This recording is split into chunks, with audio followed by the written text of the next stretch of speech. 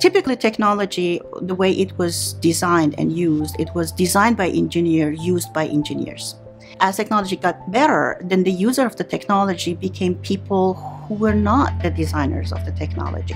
So they have no appreciation for the complexity of the device. They just want to use it.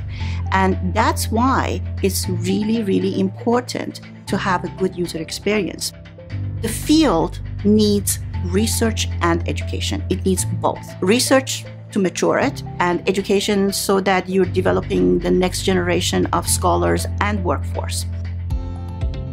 One of the technologies that we use in the lab is eye tracking.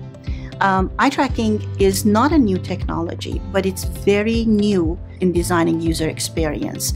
We process over 95% of information through our eyes.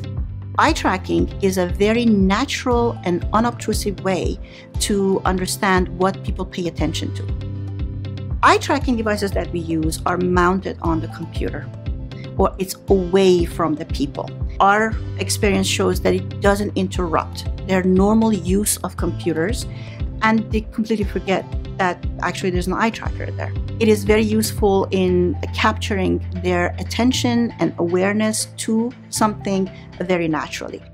We are also interested in other techniques such as augmented reality. We have set up a simulated store in order to show how augmented reality can enhance that shopping experience.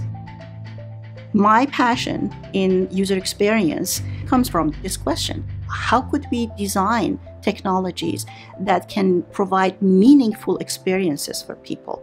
And with meaningful, I mean that it can enhance their experience of life.